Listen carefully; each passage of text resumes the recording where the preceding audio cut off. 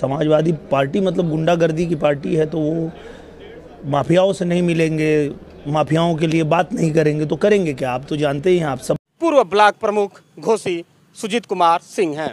आपको बता दूँ कि कल आजमगढ़ में प्रेस कॉन्फ्रेंस करते हुए दिनेश लाल यादव ने यह बयान दिया है कि समाजवादी पार्टी बाहुबलियों और गुंडों की पार्टी है। इसलिए अखिलेश यादव जब भी आते हैं, वो बाहुबलियों से ही और गुंडों से ही मिलते हैं। आइए हम इनसे जानते हैं समाजवादी पार्टी के ये नेता हैं। इन पर सुजीत सिंह जी का क्या कहना है? जिस तरह से दिनेश लाल यादव ने आजमगढ़ में जीत दर्ज की और इस तरह से बयान दे रहे हैं कि समाजवादी पार्टी गुंडे और मवालियों की पार्टी है तो इसको कैसे देखते हैं आप?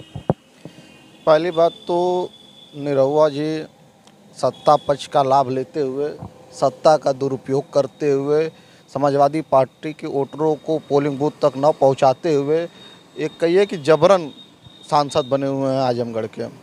उनका हिसाब 2024 में आजमगढ़ की जनता कर देगी। रही बात उनकी टिप्पणी की तो उस टिप्पणी से आपको दिखाई दे रहा है कि उनके अंदर मेच्योरिटी नहीं है। वही रामाकांत यादव जी, इससे पहले जब भाजपा से सांसदी का चुनाव लड़ रहे थे आजमगढ़ से, तब वो क्या थे? तब तो मोदी जी आके उनके गुणगान कर रहे थे, तब तो योगी जी उनके लिए घूम घूम के गलियों में वोट मांग रहे थे। आज रामाकांत यादव जी सपा में आ गए सपा के, से विधायक हैं तो अब उनको वो गुंडा लगने लगे, उनको वो क्रिमिनल लगे लगे। तो भारतीय जनता पार्टी की यह नीति है, रीत है कि जो भी उनके दल में जाता है, वो सर्फ एक्सल से धुल जाता है और वो धुल के वो ईमानदार, स्वच्छ, छवि का इंसान हो जाता है और जैसे ही वो भारतीय जनता पार्टी को लात मारता है, फिर वो बेईमान, धूर्त, मक्कार सब हो जाता है। ये सोच है इन लोगों की। क्या लगता है आजमगढ़ का चुनाव निरहुआ के पक्ष में जाना समाजवादी पार्टी का वहाँ पे गढ़ है? क्या फ़र्क पड़ा उत्तर पूर्वांचल की राजनीति में? देखिए, उपचुनाव में आपने देखा किस तरह सत्ता पक्ष ने दुरुपयोग किया। कितने से चुनाव जीते? पाँच हज़ार छः हज़ार वोट उन्होंने चुनाव जीता, एक लोकसभा का चुनाव। तो कहीं ना कहीं जो वोटों को मतदान करने से रोकना था, मुस्लिम बहुल इलाकों में लोगों को पोलिंग बूथ तक नहीं पहुँच पाए लोग। और भारतीय जनता पार्टी की करनी और कथनी में हमेशा अंतर रहता है। दो साल के लिए सांसद बने हैं। और भाई, मैं भी आजमगढ़ की जनता की तरफ़ से उनसे आग्रह करता हूँ कि जितने वादे उन्होंने किए हैं, वो 2024 से पहले आजमगढ़ में पूरा करें, नहीं तो आजमगढ़ की जनता 2024 में उनको जवाब देने का काम करेगी। अक्सर देखा गया है, निरहुआ की बात कर लें, अक्सर वो सीधे सीधे अखिलेश यादव पे हमलावर रहते हैं। पिछले बार जब आए थे, बयान देकर गए थे, गढ़ को गढ़ ही बनाकर छोड़ दिए हैं अखिलेश यादव। इसको कैसे देखते हैं आप?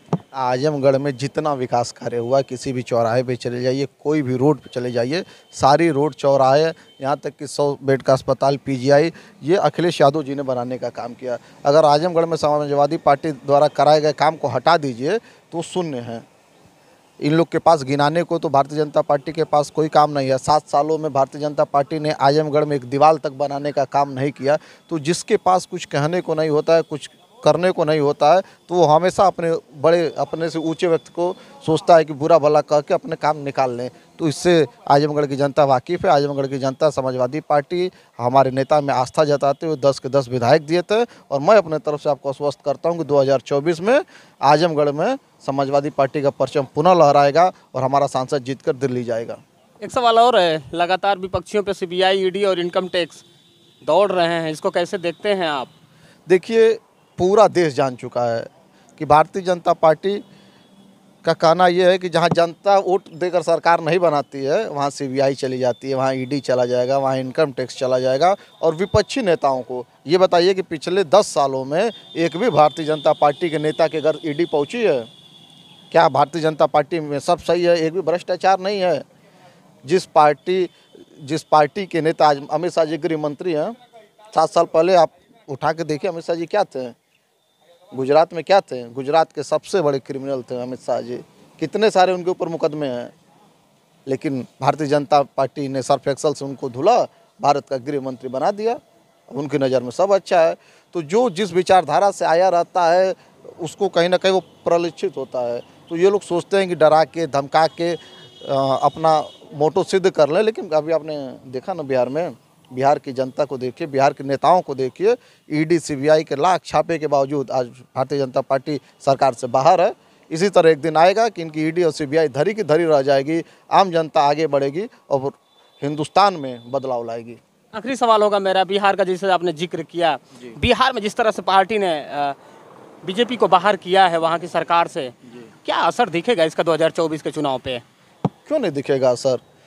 बिहार में आप चले जाइए नीतीश कुमार और लालू प्रसाद यादव जी सहित जो भी आठ दल गठबंधन में हैं, आप देखिएगा कि लोकसभा के चुनाव में बिहार में जितनी भी सीटें रहेंगी, सारी की सारी गठबंधन के खाते में जाएँगी। वही हाल उत्तर प्रदेश में है। अखिलेश जी के नेतृत्व में धीरे धीरे आप देख रहे हैं कि परिवर्तन आ रहा है। मैं आपको आश्वस्त करता हूँ कि 2024 में दिल्ली की कुर्सी पे मोदी जी नहीं रहेंगे। कहीं ना कहीं दिल्ली की कुर्सी पे वही शख्स बैठेगा जिसको समाजवाद में विश्वास हो, जिस जो सांप्रदायिक शक्ति उसके खिलाफ लड़ना जानता हो, जो सेक्युलर हो, ऐसा व्यक्ति दिल्ली की कुर्सी पर आपको बैठा हुआ 2024 में नज़र आएगा।